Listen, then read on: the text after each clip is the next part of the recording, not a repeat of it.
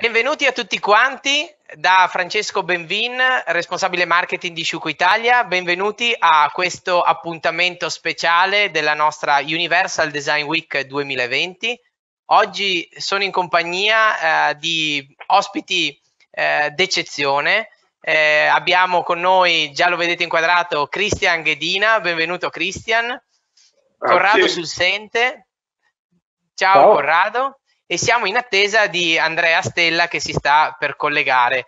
E, ehm, a me è il piacere di darvi il benvenuto in questo appuntamento. Sapete che in questa settimana noi stiamo parlando di, eh, di architettura, di architettura da, ma da chi la fa l'architettura, chi la vive l'architettura, chi influenza il modo di vivere nelle nostre città, nelle nostre montagne, il, ehm, il rapporto tra la disabilità e, e, e il, il, luogo, i luoghi.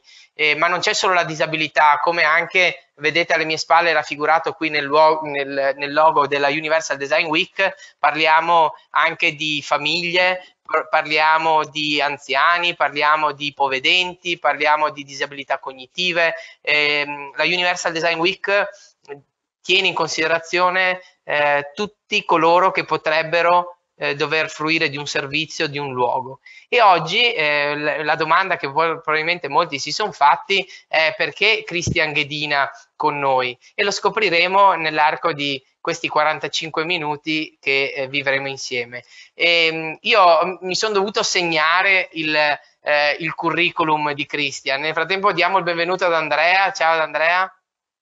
Ciao Andrea. E allora noi per semplicità abbiamo non mi sentite? No, no, il microfono di Andrea. Ah, Andrea.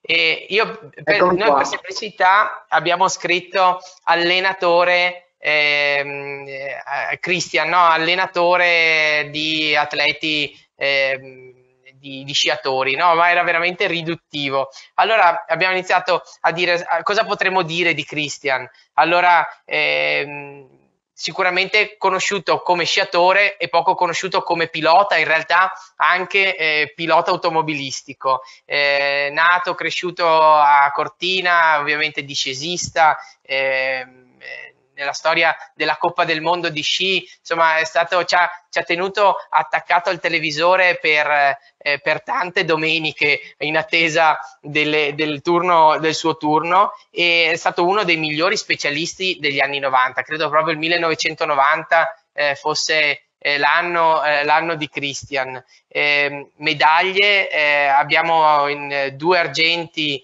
eh, di, in, in, combinata, in discesa libera, un bronzo, in Coppa del Mondo eh, abbiamo, Christian è stato il miglior piazzamento in classifica generale, è stato quarto nel 97 e nel 2000. Eh, e 33 podi leggo in Coppa del Mondo, addirittura 33 podi eh, di cui 13 vittorie, quindi 13 medaglie d'oro.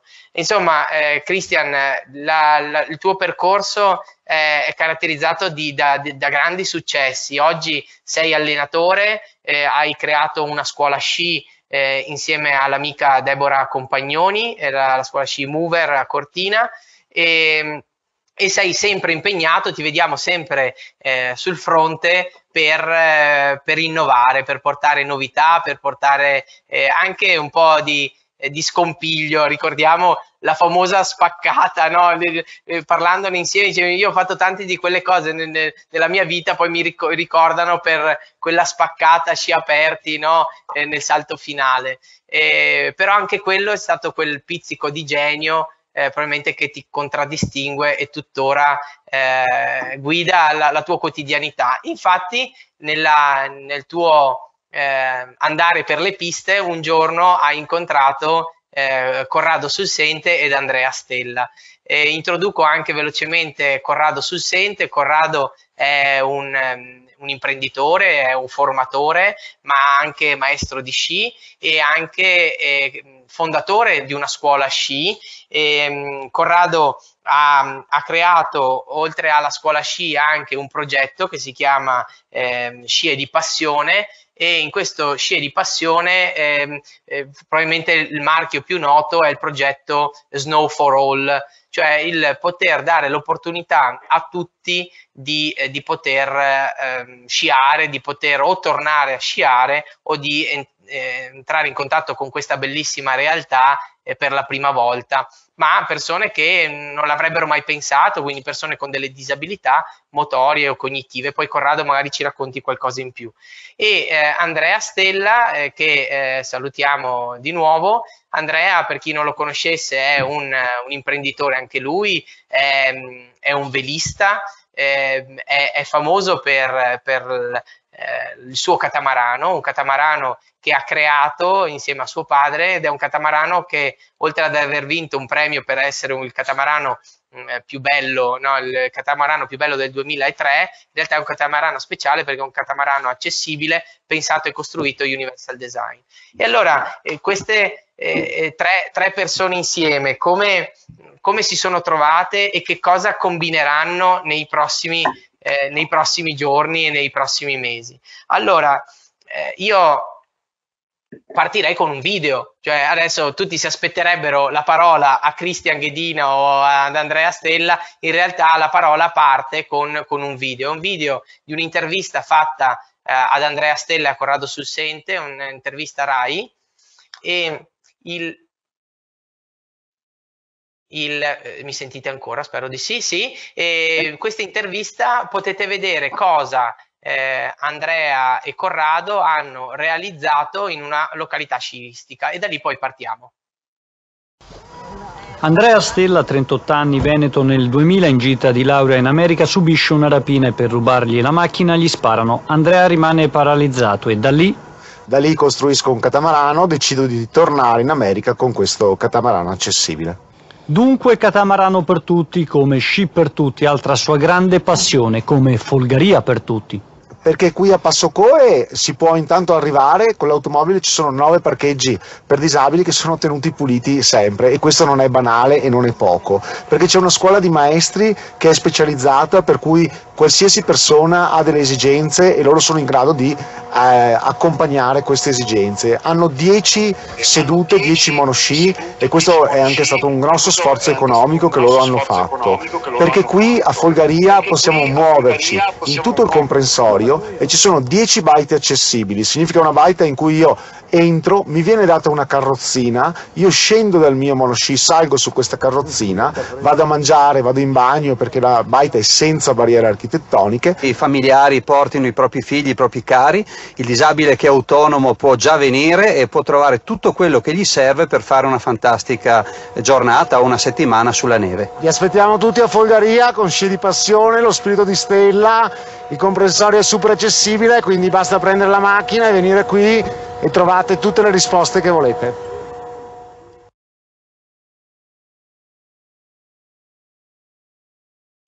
Bene, allora poi la domanda che a questo punto sorge spontanea, cosa c'entra Christian Ghedina eh, in tutto questo? Allora, eh, io volevo mostrarvi, eh, spero che si veda, ehm, una foto che ehm, abbiamo ehm, abbiamo visto eh, recentemente ehm, che ci ha fornito Christian e qui potete vedere eh, eh, sulla destra Christian e sulla sinistra Deborah Compagnoni eh, su un monosci.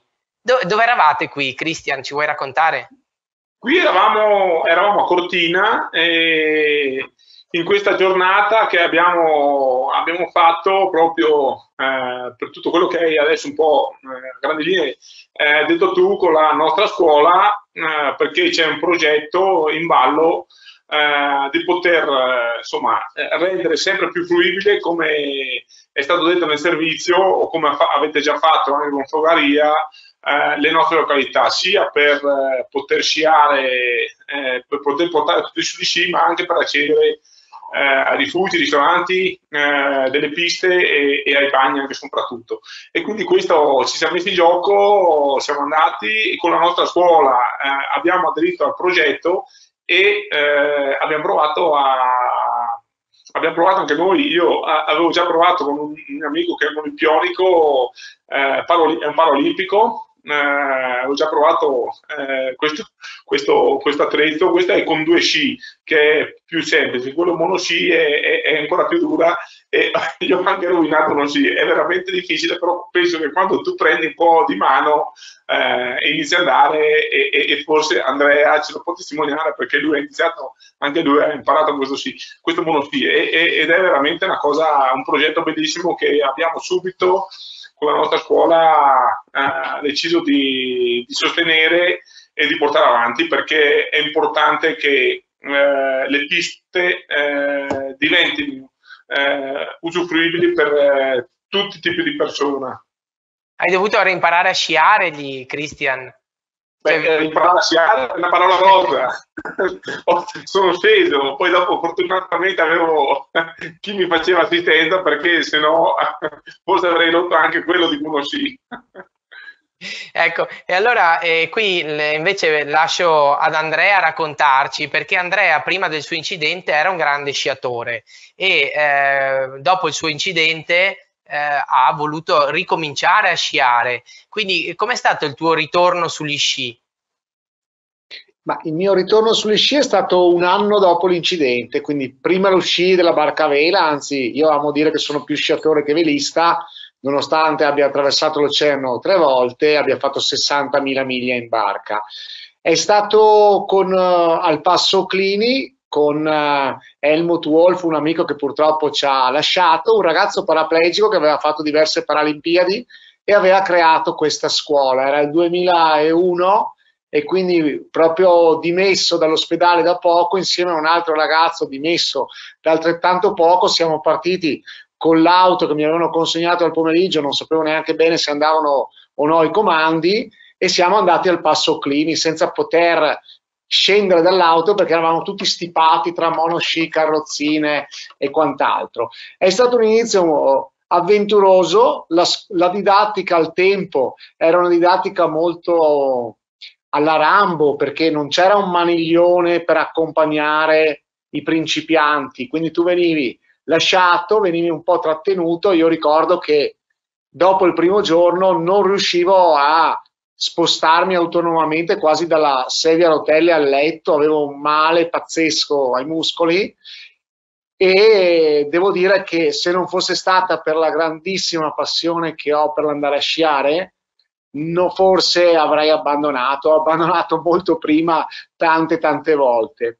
Per cui poi abbiamo come associazione lo spirito di Stella quando abbiamo incontrato Corrado sul Sente e questa didattica zero cadute è stata, è stata una grande scoperta, non tanto per me che ormai avevo già imparato a sciare sulla mia pelle, diciamo, ma per dare la possibilità a tante persone di avvicinarsi a questo sport fantastico, di poterlo fare direi in qualsiasi condizione, perché veramente persone con una, una mobilità molto molto ridotta, che addirittura non muovono le mani, in quel caso accompagnati, possono scendere, provare emozioni meravigliose e godersi le nostre piste. Anzi, io dico, per un principiante in piedi, eh, provate il monosci perché almeno andate subito veloci perché avete un maestro che vi accompagna. E poi quando una persona disabile può e è nelle condizioni fisiche di poterlo fare, diventa autonomo. Quindi diventa autonomo al punto che io sono perfettamente autonomo sul mio monosci, ma do, dove non sono autonomo? Nel contesto sociale se questo contesto non è organizzato. Infatti Andrea ti chiedo di dirci eh, di che cosa ha bisogno un disabile quando va a sciare da solo, perché ha imparato ad andare da solo ma eh, probabilmente ha bisogno di qualcos'altro. Guarda, faccio un esempio molto semplice. Io ho una casa mm, sul Civetta, ma a Selva di Cadore, e però mia moglie che non scia è costretta ad accompagnarmi, a portarmi, parcheggiare l'auto perché non c'è un posto per disabili, a alzare il monosci, a portarlo vicino alla seggiovia, a spingermi. E, e quindi io dopo sono autonomo, ma tutta la fase da il raggiungimento dell'impianto a portare il monosci, a muovermi all'interno del comprensorio e poi a, a, una necessità, devo andare in bagno, eh, quindi devo tornare alla stazione di partenza. Quindi Folgaria è stato innovativo perché, perché io a Folgaria veramente non ho mai chiesto a nessuno, non ho mai avvertito Corrado che sarei andato a sciare e quindi io arrivo con la mia macchina esattamente come avete visto nel servizio. Cambia totalmente la mia autonomia. La mia autonomia cambia, mi permette di sciare da solo e fino il problema rimaneva quello della possibilità invece di entrare in una, in una baita. Problema che ci siamo posti ad un certo punto con Corrado e ci siamo accorti che c'erano 12 byte sull'altopiano di Folgaria, 10 erano completamente prive di barriere architettoniche. Però il bagno era stato utilizzato, un bagno con i maniglioni, un bagno accessibile, era stato usato come un magazzino perché le persone, eh, i gestori, giustamente mi permetto di dire, non vedevano nessuna persona con un'esigenza del genere, non ne capivano neppure il senso di un bagno per disabili lì ma cosa mancava? Cosa mancava? Mancava la, la, una carrozzina, quindi un oggetto molto economico, una carrozzina semplice, che permettesse a, alla, alla, bisogna, quando ce ne fosse stata la necessità, a una persona che arrivava col suo monosci di scendere dal monosci, salire sulla carrozzina, usare la baita, divertirsi, non costringere tutti i suoi amici a tornare al punto di partenza, a tornare all'automobile dove c'era la carrozzina e quindi vivere una giornata in montagna in maniera assolutamente uguale a tutti gli altri.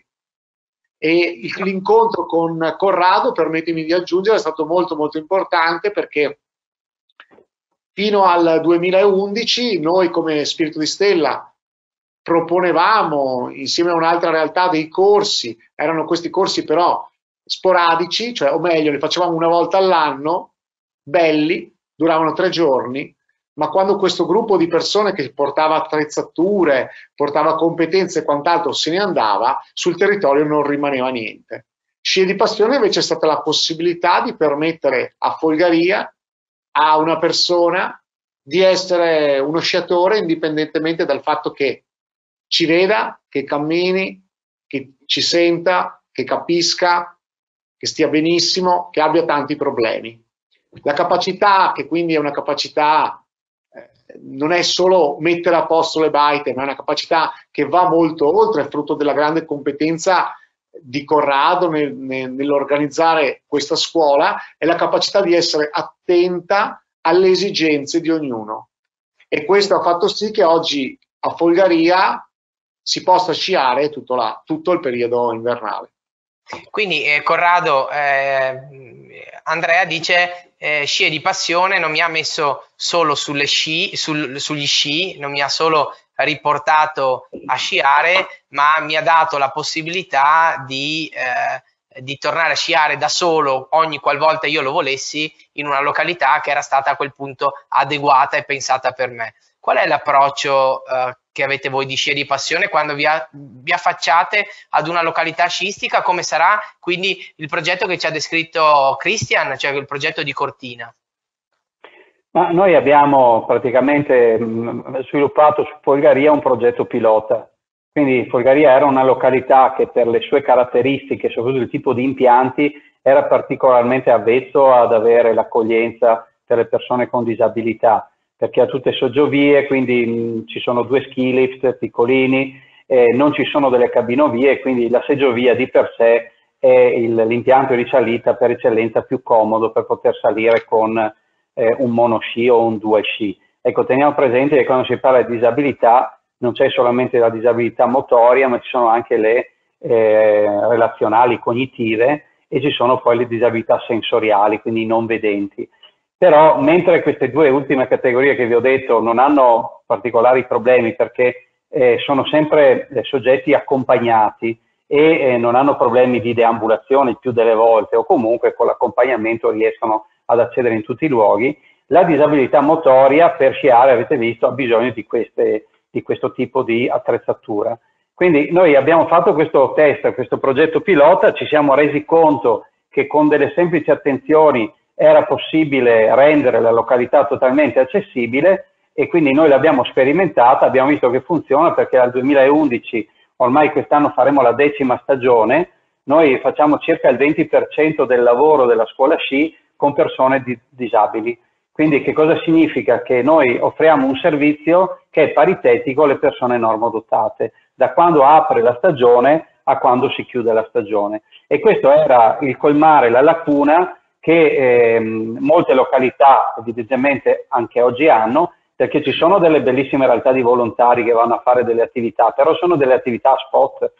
Invece la località deve essere accessibile per tutto il periodo, diremmo 365 giorni all'anno in realtà noi parliamo di 120 giorni che è la stagione invernale, ma in realtà quando tu attrezzi la eh, località per l'inverno, in realtà la attrezzi anche per l'estate, perché oggi, per esempio, in montagna si può andare tranquillamente anche con eh, le hand bike assistite. Sappiamo che oggi c'è il boom delle, delle mountain bike assistite, quindi tu puoi arrivare in quota facendo po poca fatica e vedendo cose che mai avresti visto se non avessi avuto questo tipo di mezzo, bene, ci sono delle aziende che realizzano delle eh, hand bike, quindi le biciclette praticamente che si possono eh, utilizzare con l'utilizzo delle braccia, anche queste assistite con le ruote da, da fuoristrada.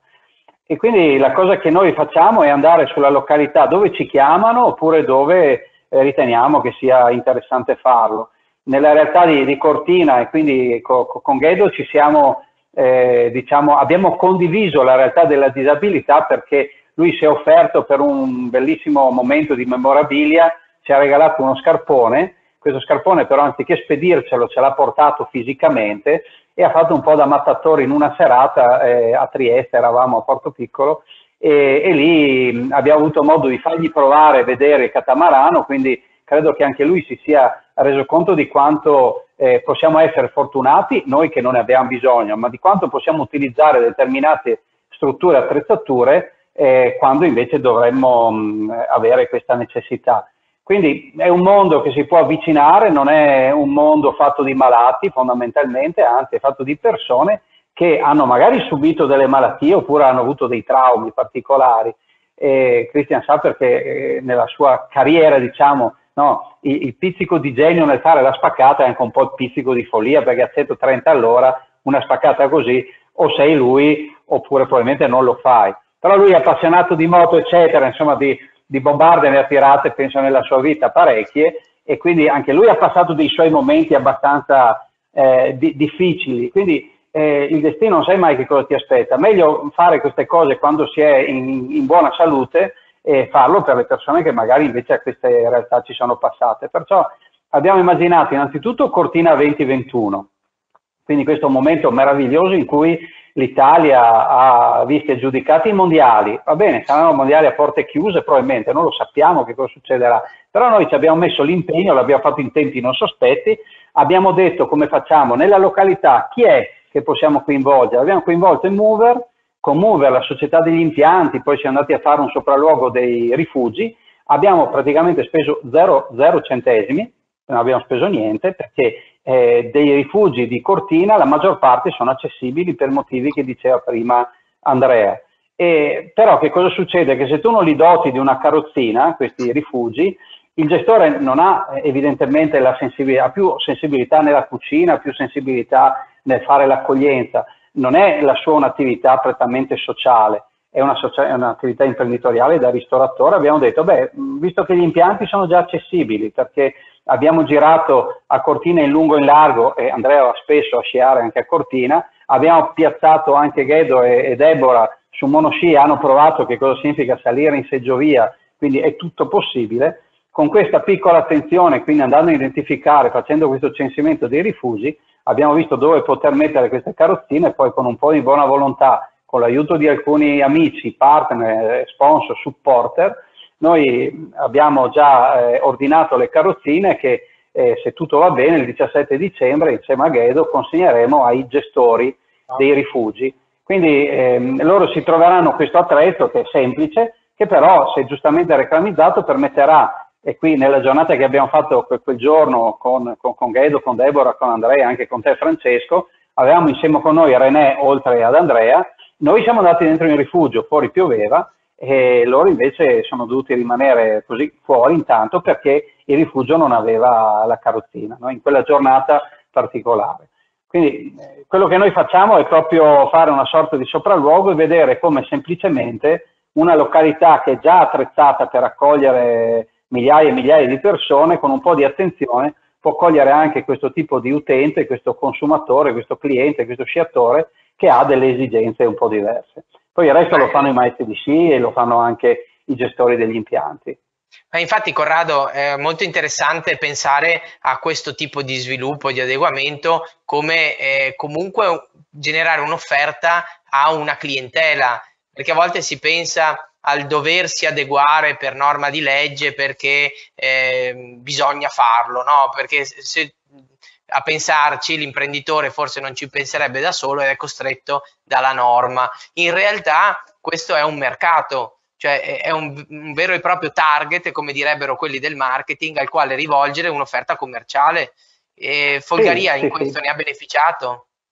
Ma sì, assolutamente sì, perché gli alberghi si sono attrezzati e hanno cominciato ad accogliere anche convegni no, di persone con disabilità, perché ci sono ritrovi medici, ci sono convegni che si fanno, momenti di studio, si fanno sperimentazioni. Ecco, la particolarità che noi abbiamo eh, fatto su a Folgaria è quello di dotarci come scuola sci di dotarci delle attrezzature perché costa talmente tanto un attrezzo che eh, non lo puoi comprare solamente per vedere se ti piacerà sciare.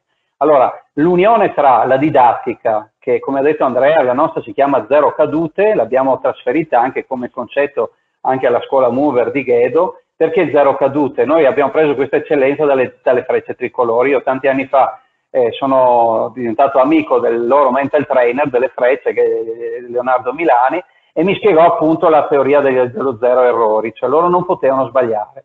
A me è piaciuto questo zero errori, ho detto beh, perché dobbiamo far cadere il nostro, il nostro, utente, il nostro amico, il nostro allievo, cliente disabile le prime volte, se continua a essere per terra. E mi sono rifatto l'esperienza di Andrea Passoclini che mi ha detto dopo una giornata ero talmente per terra che la sera ero praticamente in crisi muscolare, non riesco neanche a spostarmi dalla carrozzina al letto. No? Se io posso evitare di fargli fare il Marines, almeno per i primi 100 km, no? poi pian pianino lascio le mani, lascio che lui vada per conto suo, la sensazione è bellissima perché lui è convinto che io lo tenga, in realtà lui ha acquisito le abilità, io finché scende poi non faccio altro che battere le mani, dico bravo, in quel momento dice ma con che cosa stai battendo le mani se non mi stai tenendo o mi stai tenendo? Lì? Capisce che ha raggiunto questa sua prima autonomia e a quel punto può anche decidere, possiamo anche insegnargli un po' a cadere, perché nello sci ovviamente si parla di fisica, piano inclinato, le cadute fanno parte del gioco. Però una cosa è cadere e, e imparare a cadere, una cosa è cadere perché non riesci a rimanere sul tuo, sul tuo attrezzo. Corrado, so che ci hai portato un po' di immagini del progetto di Folgaria e provo a condividerle, magari ce, ce le racconti tu. Eh, qual è l'approccio di sci e di passione quando avvicina per la prima volta una località? Ma allora, innanzitutto sensibilizzare all'attenzione. Attenzione perché ci sono poche cose importanti, ad esempio quella che vedete in questa immagine è una, una delle realtà di Folgaria, come diceva Andrea, ci sono nove parcheggi liberi nella zona di accessibilità al piano sciabile e sono riservati per persone con disabilità. È ovvio che questi parcheggi qui, vedete, in una giornata in cui il piazzale è pulito, eh, questi parcheggi devono essere tenuti puliti. Quindi il nostro approccio qual è? Che non è che aspettiamo che venga l'ANAS o la provincia con le ruspe a fare la pulizia, perché è bellissimo quando nevica di notte, alla mattina devi evidentemente preoccuparti dei tuoi allievi, dei tuoi clienti e li devi pulire, quindi i nostri maestri di sci a turno prendono il badile e spalano. E la cosa però che è importante, lo vedete qui, questo è, una, è uno studio che abbiamo fatto per eh, Madonna di Campiglio, qui siamo a Passo eh, Campo Carlo Magno, e dove abbiamo ipotizzato no, con questo nostro sopralluogo la zona dove poteva andare il parcheggio accessibile, dove c'è la zona di accesso, eh, la casettina dove vedete lì il segnino dove c'è la zona di accoglienza, poi se vai su, su un'altra slide si vede in maniera chiara che per esempio questo è un rifugio molto famoso, lo chalet Fiat, qui se il livello neve, eh, cioè se nevica tanto si arriva direttamente dal piano sciabile fino all'ingresso e se no è prevista una rampa di lato, basta mettere la segnalazione e tu arrivi con eh, la tua carrozzina perché ovviamente lo chalet è dotato di carrozzina e tu puoi smontare dal tuo monosci e poi arrivarci. Tutti questi studi vengono fatti durante l'estate fondamentalmente, quando andiamo a vedere come sono attrezzati. Qui per esempio già l'accesso ai servizi e al self-service è già pronto, qui addirittura c'è già la rampa come diceva Andrea, eh, tante cose sono già fatte, non è che serve investire migliaia e migliaia di euro, perché molti gestori sono già sensibili a questo. Quando ci sono gradini di questo tipo sono assolutamente superabili. Non è che perché c'è un gradino di questo tipo la persona con la carrozzina sta fuori, perché chi impara ad andare con la carrozzina impara a impennare gradinetti di questo tipo, li supera.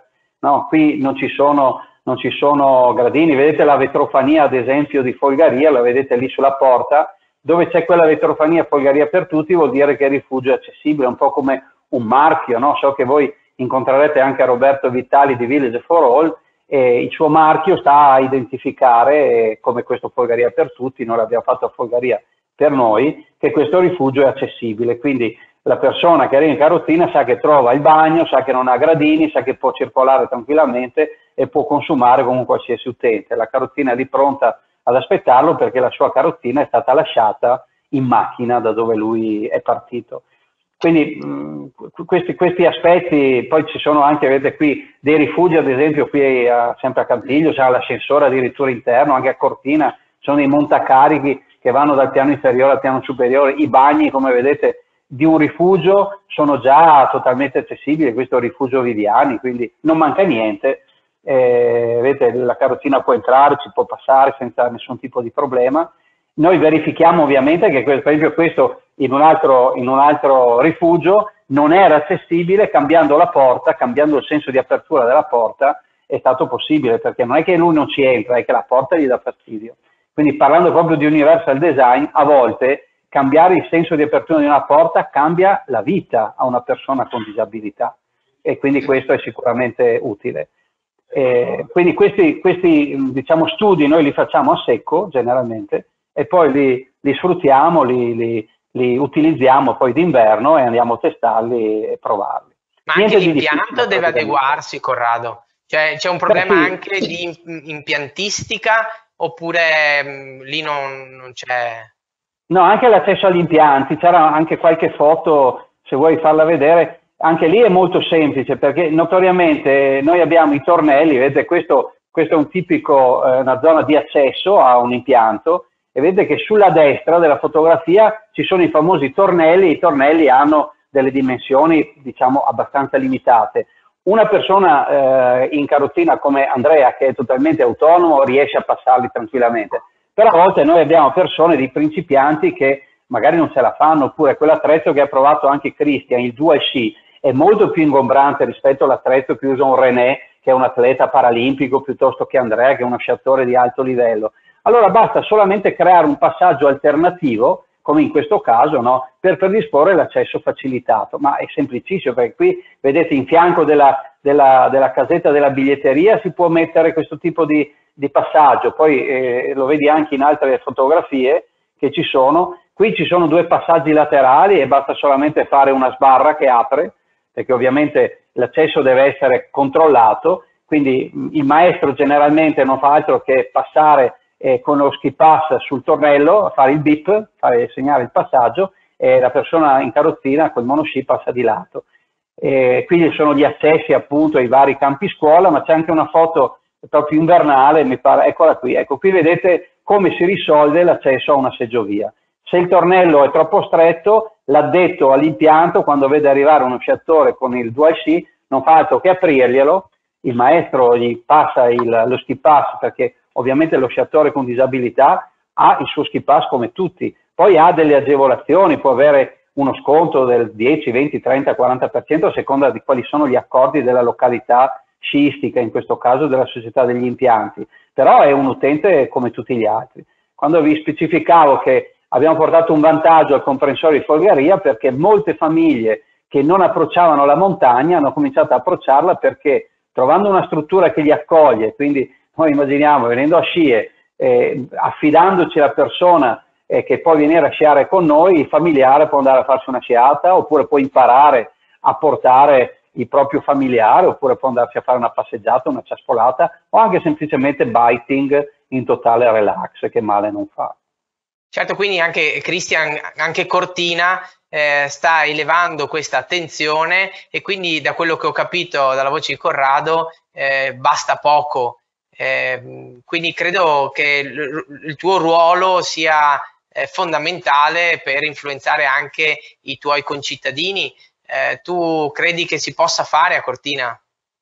Ah sì, chiaramente abbiamo fatto, come ha detto prima, un'ispezione, hanno fatto loro, anche noi abbiamo fatto un giro per vedere un po' tutte quelle che sono le, le byte accessibili, anche gli impianti, gran parte eh, degli impianti e delle, delle byte sono accessibili e, e quindi eh, con la richiesta, poi dopo è stata anche un'idea che era nata proprio quando è andato giù a, a Porto Piccolo con Andrea, ha detto perché io voglio andare, lui mi ha spiegato tutta la sua eh, avventura, quello che era successo, quello che è stato raccontato un po' all'inizio, eh, mi piacerebbe entrare anche tanto veramente nel mondo dello sci perché Cortina è un potenziale, però anche poter portare eh, o, o, io che posso venire a sciare liberamente eh, sarebbe troppo bello perché ci sono tante località come, eh, come Folgaria che sono, sono attrezzate eh, oppure anche all'estero forse noi siamo un po' eh, Andrea magari eh, tu me lo puoi confermare, eh, all'estero sono un po' più avanti su, su, con, queste,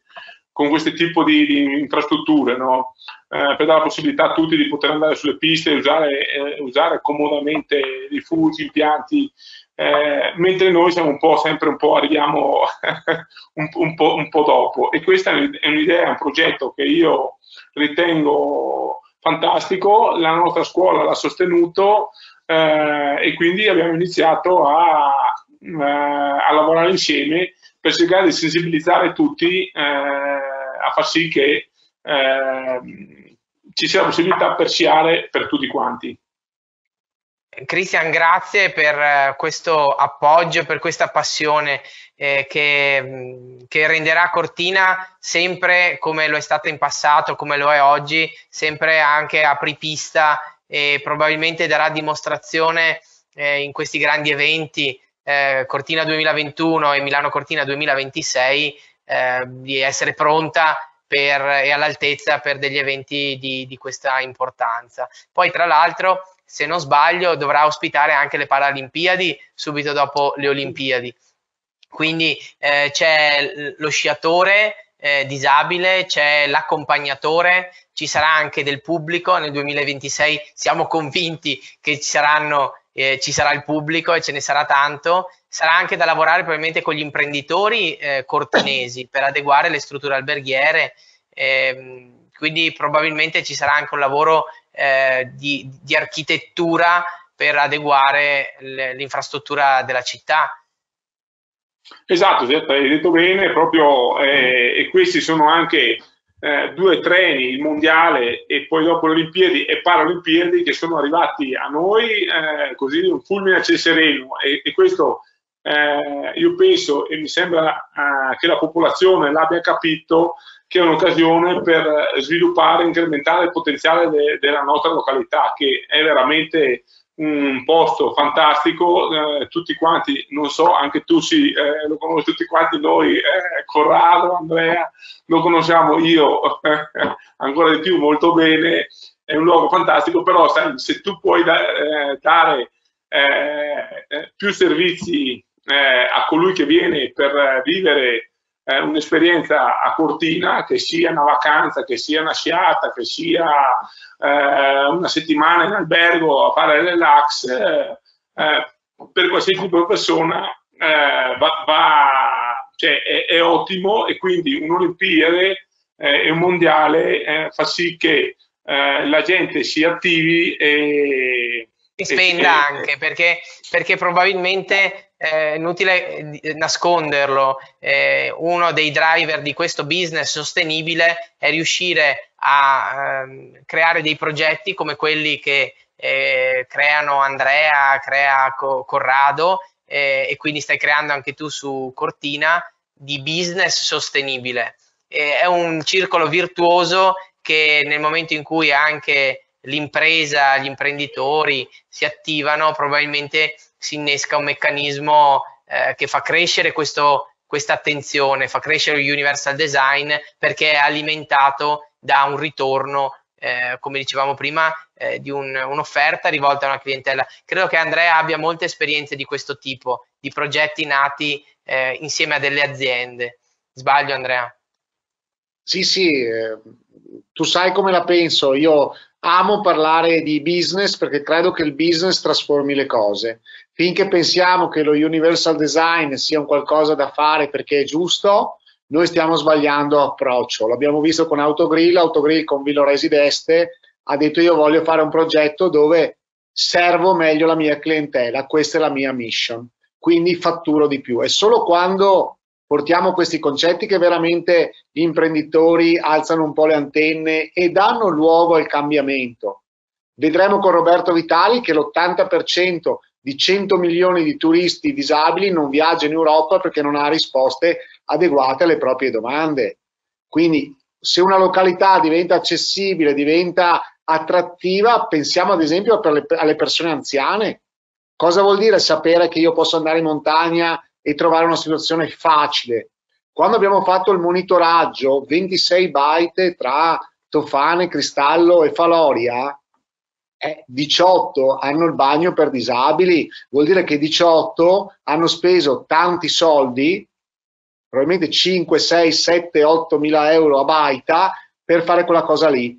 Se manca però l'informazione, se manca d'inverno la carrozzina, che costa 150 euro, quella cosa lì non serve più a niente. Quindi noi dobbiamo guardare il progetto nella sua interezza. Le Paralimpiadi sono un'opportunità immensa per ripensare a una città che diventa possibile per una persona in sedia a rotelle, ma più facile per un anziano. E chiediamoci chi va in vacanza 12 mesi all'anno, non sono dei ragazzi da 20 anni.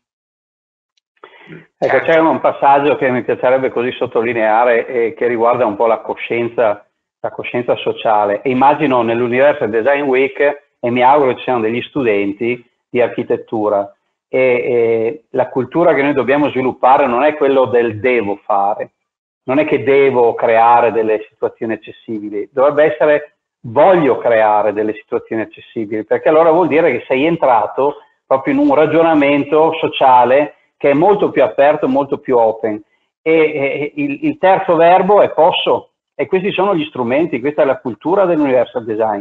Noi, tutto sommato, con i progetti dello spirito di stella, assieme alle scie di passione, assieme a Mover, assieme anche a tante altre realtà con cui noi entriamo in contatto, che cosa facciamo? Dimostriamo che è possibile farlo. Quindi il famoso devo dovrebbe sparire fondamentalmente. Però abbiamo visto che già le generazioni, noi millennium, piuttosto che le generazioni Z, K, Y tutti quelli che devono arrivare, no? sono ormai delle, delle, generazioni che sono molto sensibili a questo discorso. Certi tabù che c'erano un tempo ormai sono caduti. Il fatto del, del voglio è una grande motivazione, però servono appunto questi strumenti e non pensiamo che servano chissà quali tipi di infrastrutture. Basta solamente, secondo me la parola chiave è proprio l'attenzione. Se tu sei attento a queste cose, ti accorgi di quanto può essere semplice o quanto può essere complicato. In questo caso la semplicità è una maggiore attenzione. Grazie Corrado, io eh, andrei verso la chiusura purtroppo perché il tempo eh, sta scadendo, ma lo farei con un video che ci avete portato, un video che è stato eh, girato proprio in quell'occasione del, del, sopralluogo che avete fatto ehm, a Cortina. E, e, quindi io lascerei, eh, lascerei la parola a, a questo video, eh, proprio potete vedere le immagini della sciata insieme e quando si parla di, di un disabile che scia, eh, io devo dire sono rimasto veramente impressionato e anche messo in difficoltà eh, nel, nello sciare accanto a chi va giù molto forte e di chi si, poi si capisce da, da, questo video che adesso stiamo per far partire di quanto eh, ci sia eh, bisogno di dare spazio a, a questa passione anche eh, in chi torna a sciare dopo un incidente o dopo un infortunio. Quindi lasciamo...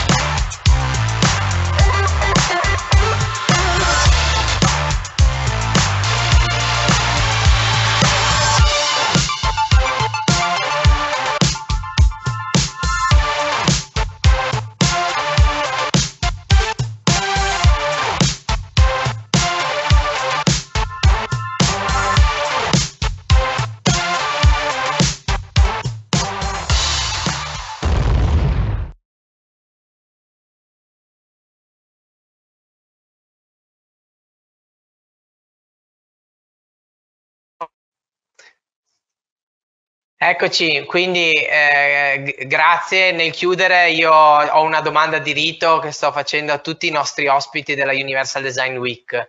E, partirei da Corrado, poi nell'ordine Andrea e lascerei chiudere Christian. La domanda che facciamo a tutti è cos'è per voi Universal Design in una sola parola?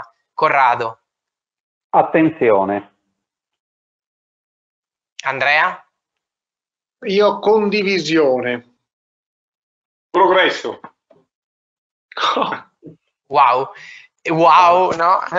wow, parleremo di wow in un'altra occasione, però è Wilson Waves, qui sono le, le rotelle sulle onde, qui abbiamo Wilson Snow, eh, rotelle sulla neve. E, ehm, io, io vi ringrazio per questo, questo momento eh, veramente importante. Vi ringrazio per il progetto che state portando avanti eh, per Cortina e lascerei la chiusura a Christian. E visto che ci sono molte persone che ci stanno osservando in questo momento, eh, sia in diretta e altre ci guarderanno poi eh, del, nel video registrato, lascerei a te un invito da rivolgere a chi appunto ci sta guardando. Eh, per cosa possiamo fare noi? Eh, come possiamo comportarci per rendere questo mondo più universal? Beh, eh, io adesso stavo pensando mentre eh, chiacchieravamo proprio prima, adesso insomma sono ancora operativo, attivo, pieno di forza e di energia, però visto che si è toccato eh, non solo il tema della visibilità per coloro che vanno sulla carrozzina, ma anche eh, degli anziani, eh, quando diventi vecchio io abito al primo piano, metti caso che eh, io, ma anche adesso, non solo, dovessi eh, rompermi la gamba, dovessi andare in giro per tre mesi, che mi è capitato il mio vicino di casa, adesso sono appena diventato genitore, papà, e sotto, sotto la casa della, della, mia ragazza a Bressanone eh, c'è eh, un'altra coppia che ha, hanno avuto un bambino.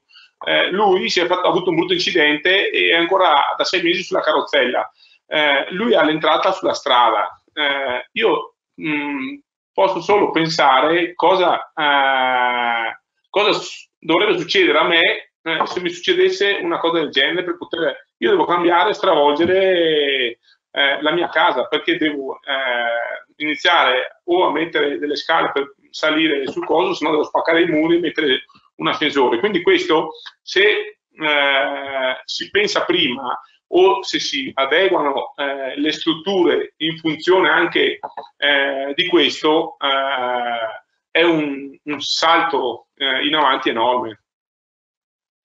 Cristian, no, grazie mille.